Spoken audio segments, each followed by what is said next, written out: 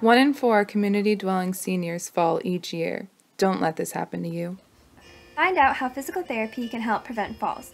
In physical therapy, skilled therapists will help you work on improving your balance to decrease your risk of falling. Patients should participate in at least three hours of falls prevention exercise per week. Physical therapists may also recommend assistive devices and home modifications to aid in preventing falls. Don't wait until it's too late. Talk to your physician today about getting referred to physical therapy to start your journey to a fall-free life.